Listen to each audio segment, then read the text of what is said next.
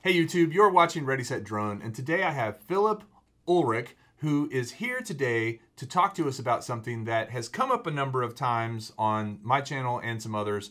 Uh, what is that topic? Flying at night, both Flying at recreationally and commercially, but mostly recreationally because that's the part that actually matters. Yeah, so so there's some debate about whether you can fly at night, what's required of it, etc. And so we're going to just go through real quick. Um, I have to say, Phil's done a lot of research uh, with uh, regard to the law, with regard to different organizations that are key players, stakeholders in this, the FAA, the AMA, etc. And so let's dive in and check it out.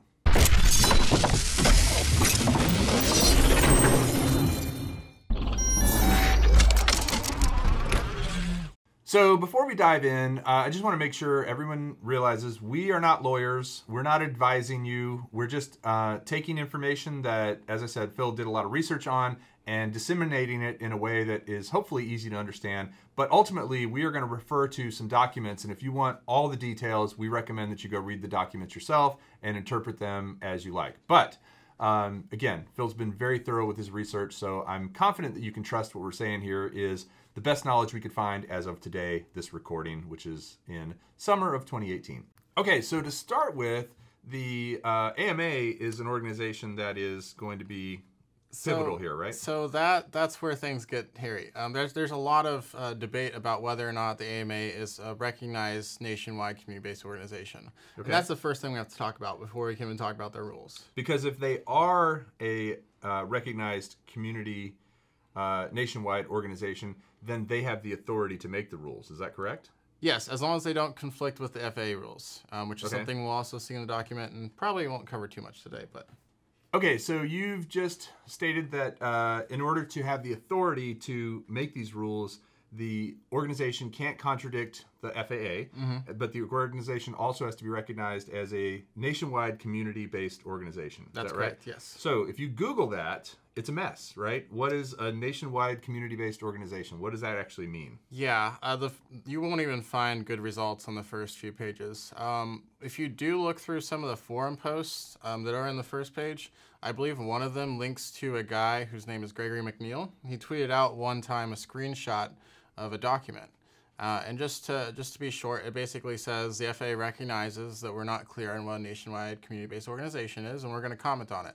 Um, and there's some commentary that was allowed from the public, and then they eventually um, came up with a, a commentary for the whole 336 document, actually. So essentially, they're commenting on everything that they think needs clarity in that document, and that's what part of what we'll be referencing today. So where did that uh, tweet actually originate from? So that actually originated from the Federal Register. Uh, and again, just for brevity's sake, uh, Federal Register is a, a government organization that puts out laws and regulations and uh, even commentaries on laws and regulations. And if the president signs a bill, that ends up in there as well. It's, uh, it's a newsletter that the government puts out every single business day. So there's lots of stuff in there. It's also not fun to read. So if you ever need to look for anything in there, it's not easy to find. But uh, we did find this part of the of the text that he screenshotted in there, um, and that's where it came from. So this tweet is from 2016. Uh, have there been any updates about it since then? So uh, I don't think the actual document has been updated from its uh, initial putting out and waiting for people to comment on it, just based on the date at the bottom of it. So I don't think they actually did anything with the comments they got from the people. But that document is actually available on the FAA's website under the Flying for Fun section. Okay, so what you're telling me is if you go to the Flying for Fun section, uh, this this document, the, all this content is right there, but it's still confusing. Yeah, um, and I think this might be part of the FAA's fault, uh, but it's linked as like an afterthought in the bottom, along with another document that's also a mess.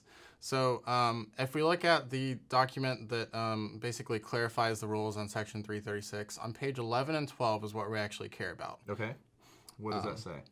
So that says Section 336A2 requires model aircraft to be operated within a community based set of safety guidelines and within that programming of a nationwide community based organization.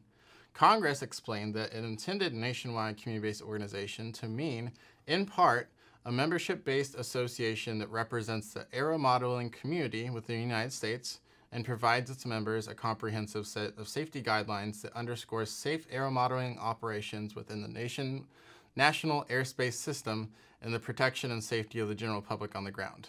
Okay, so so that sounds like the AMA. I mean, kind of, but but is there anything more explicit?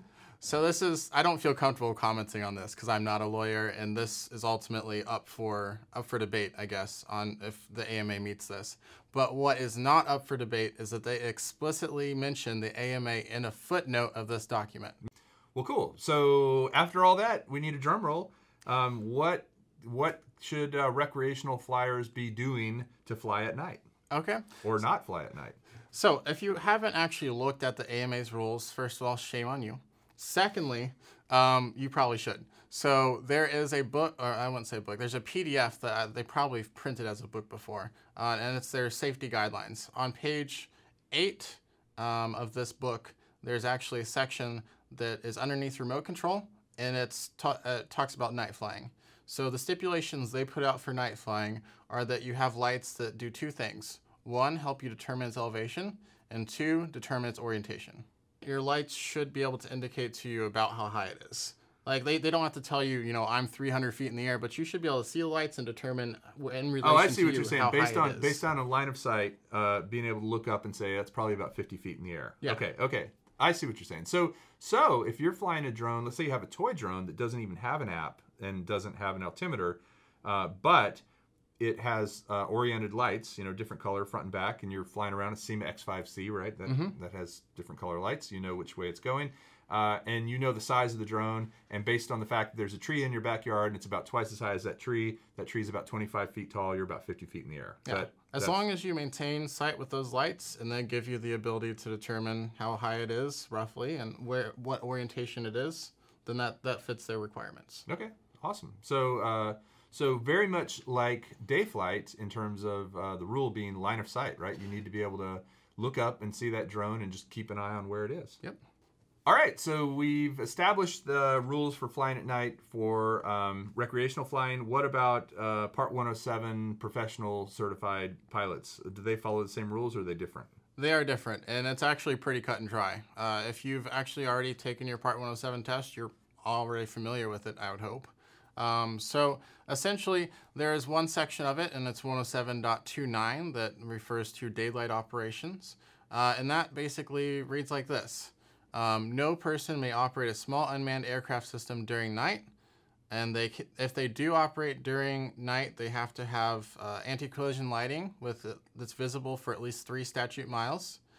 And um, as for purposes of night, night is determined by being 30 minutes after sunset and 30 minutes before sunrise.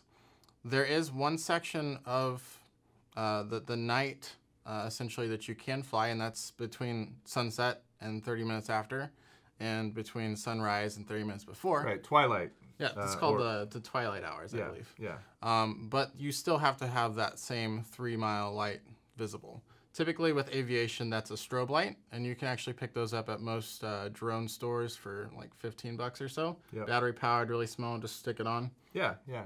Lume Cube would probably work too. Those Yeah, that would are- work too, Those yeah. things are super bright. Okay, so uh, what about um, getting a waiver?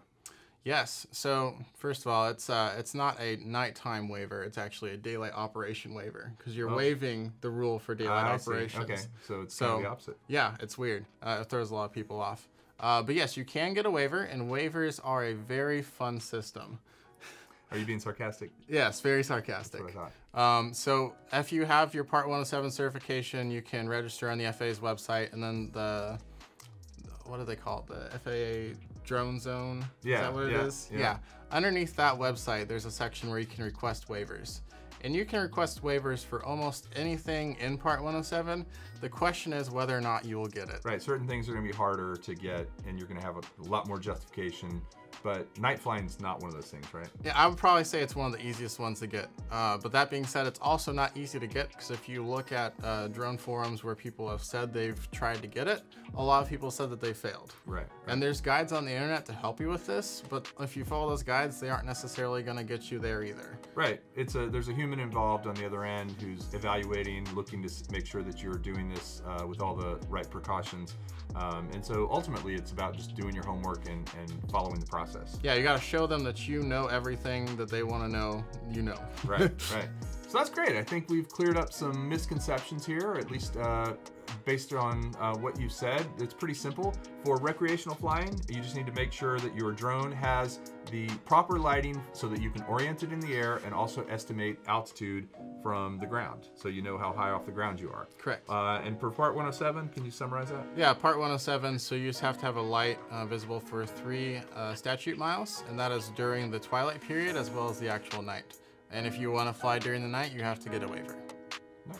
All right, so I'd really like to thank Phil for doing all this research. There's a lot of data here. Neither of us are lawyers, and we're not uh, telling you what to do. We're just trying to distill the information that's available and make it easy to digest so that more people can understand the rules. Yeah, and please share this with your friends, especially if they don't know the rules or if they're mistaken about the rules, because um, that will allow us to actually uh, know the rules, be able to share them with others, and knowing the rules is half the battle. Exercising the rules is the other half of the battle. If we don't actually use the, the allowances that are given to us, then we might lose them. So absolutely, absolutely, and use them safely. So uh, thanks again to Phil. He does have a YouTube channel, which I'll link below. If you uh, liked this video and you're not already a subscriber, I hope you'll subscribe to Ready Set Drone. We're going to try to do more of these sort of in-depth videos about rules and regulations in the future. And of course, uh, comment and let us know what you think. Thanks for watching. We'll see you next time. Bye-bye.